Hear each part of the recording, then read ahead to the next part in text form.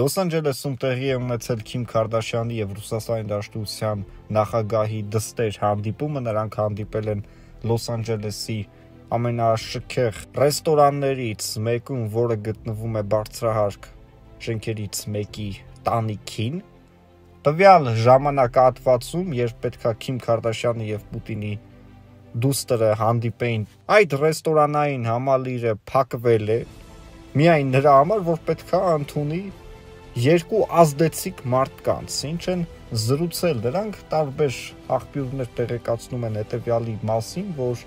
նրանք զրուցել են իրենց հետաքրքրությունների վերաբերյալ, այսինքն Քիմ Քարդաշյանը Լոս Անջելեսում եւ ամբողջ աշխարհում է հայտնի եւ ունի իր բրենդային հակոստի եւ ոչ միայն հակոստի, այլ նաեւ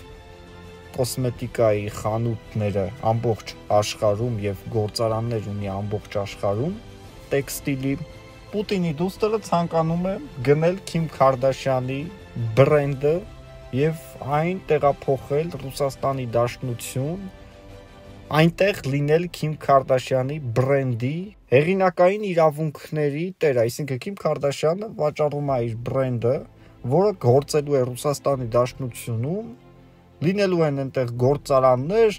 այնտեղ է լինելու վաճառք, նաև ՀԱՏՄ երկրների շրջանակներում, այնտեղ արդեն Չինաստան եւ այլն նմանատիպ պետություններ, որոնք այսօր Ռուսաստանի հետ շարունակում են անկախ ամեն ինչից պահել առևտրատնտեսային կապերը, ինչը որ Եվրոպան եւ Ամերիկան խզել են։ Այսինքն նոր բրենդներ դեպի Ռուսաստան տանելը այս պարագայում գտնում են, որ ճիշտ կլինի, քանի որ արդեն իրավիճակը հասել է ծայրահեղ ծանր դրության, որովհետև Ռուսաստանի Դաշնությունը զրկված է ամեն ինչից, Ռուսաստանի Դաշնությունը սեփական ժողովրդի կյանքի մակարդակը մի քանի անգամ իջեցրեց։ Չնայած նրան, որ Ռուսաստանը երբևիցե չի եղել զարգացած պետություն։ Իհարկե չենք կարող ասել Հայաստանը այդպես թնդում էր իր զարգացողությամբ, Հայաստանն էլ եղել է Ռուսաստանի Դաշնության մի մասը սովետի ժամանակ, եւ հենց այդ սովետն էլ թույլ չի տվել, որ այս երկրները զարգանան։ Այսօր նայում ես սովետական միության նախկին պետություններին, անգրագիտությունը միանշանակ վխտում է։ Ռուսաստանի Դաշնությունում զարգացած են մի քանի քաղաքներ՝ Պետերբուրգը, Մոսկվան, Սոչին, մանր-մունդր մի քանի քաղաքներ, բայց հիմնականում այս 3 քաղաքներն են եւ հնարավոր է Կրասնոդարի շրջանը։ Եվ բնականաբար հսկայական գերտերության մեջ ընդամենը մի քանի քաղաք, այն էլ խոշոր քաղաքներ են հիմնականում լցված են միգրանտներով եւ կարելի ասել երկրորդ տեղում այդ քաղաքներում ապրում են հայերը։ Այսինքն հայերն էլ չլինեին, սրանք ընդհանրապես կործանվելու էին։ Էլի հայերը գնացին աշխատասիրությամբ ստեղծեցին, զարգացրեցին, ապրեցրեցին, ինչպես ասում է Նիկոլ Փաշինյանը, զարգացեք եւ զարգացրեք։ Հայերը գնացին, էլի զարգացրին, ամեն ինչ արեցին եւ Ռուսաստանի Դաշնությունում հաստատվեցին որպես արդեն մի քանի հատ հայ միլիարդատերեր։ Էլ չենք ասում, որ միլիոնատերեր էլ կան, բազմաթիվ։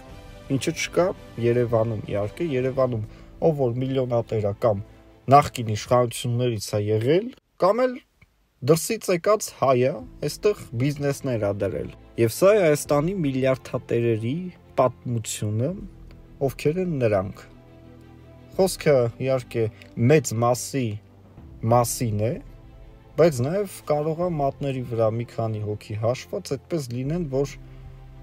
իրենց աշխատասիրությամբ հասել են դրան, բայց Հայաստանում դա բավականին բարդ է մանավանդ այն դեպքում, որ Հայաստանը չի եղել ժողովրդավար պետություն երկար տարիներ եւ բիզնեսը եղել է մենաշնորված։ Ռուսաստանի Դաշնությունը ամբողջությամբ լքել է Հայաստանի Հանրապետությանը։ Հայ քրեական հեղինակությունները, որոնք ապրում են Ռուսաստանի Դաշնությունում, ունեն նաև կապեր ռուսական քաղաքական գործիչների հետ, իրենց բողոքի, այսպես ասած, խոսքերն են հասցրել համապատասխան ականջներին, որպիսի լսեն ու իմանան թե հայ ժողովուրդը ինչ է մտածում իրենց մասին։ Ռուսաստանի Դաշնությունը սխալ քայլեր իհարկե թույլ տվեց իրեն Հայաստանի նկատմամբ եւ Ռուսաստանի ջանքերով է որ Հայաստանը կոպիտ ասված պատժվում է Ադրբեջանին, ասում են հարցակվի Ադրբեջանը, հարցակվում է Ադրբեջանին էլ պետքա որ հարցակվի մի քանի տարածք իրեն վերցնի, Ադրբեջանը այդ քայլերը ինքը հանգստանում է Ռուսաստանի Ռուսաստանի Դաշնությանը ապահովում է տուժված, խեղճ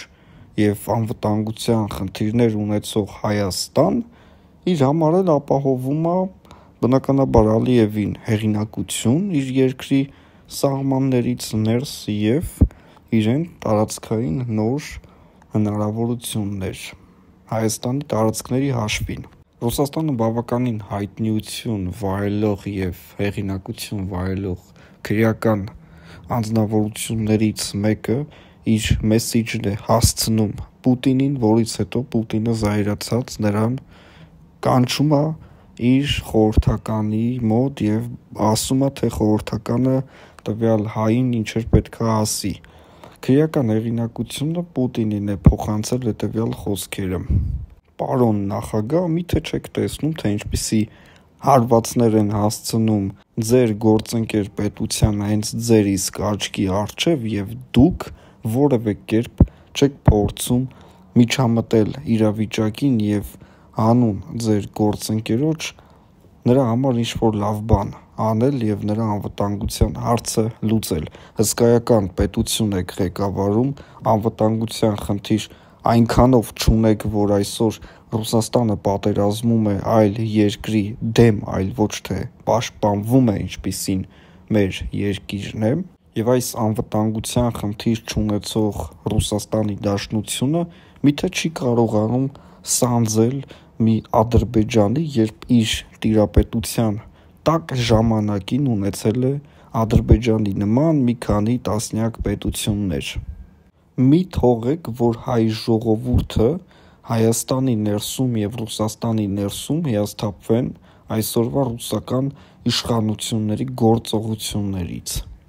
Մեր երկիրը գրկաբաց ընդունում է բոլոր այն ռուսներին, որոնք տարբեր պատճառներով լքում են Ռուսաստանի Դաշնությունը Բնականաբար այս ամեն ինչը Պուտինին հասցնել նույնիսկ Հայաստանի իշխանությունները չեն կարող, ոչ թե նրա համար չեն կարող, որ վախենում են, այլ հնարավոր է դա ունենա իր կոպիտ հետևանքները։ Հերթական Ադրբեջանի հարցակումը, որը Ռուսաստանի Դաշնությունը իր հերթին աչք կփակի այդ հարցակման վրա, ինչպես աչք փակվեց տվյալ վերջին օրերի դեպքի վրա, որը Լեռնային Ղարաբաղում մեծ